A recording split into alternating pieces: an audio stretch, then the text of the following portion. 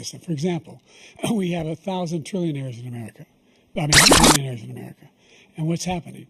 They're in a situation where they, in fact, pay 8.2% in taxes. If they just paid 24%, 25%, either one of those numbers, they'd raise $500 million, billion dollars, I should say, in a 10 year period.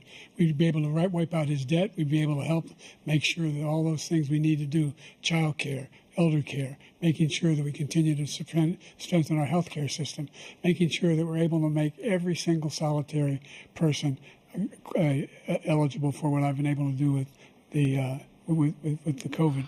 Excuse me, with um, dealing with everything we have to do. With, what did he say? Look, if we finally beat Medicare. Thank you, President. Uh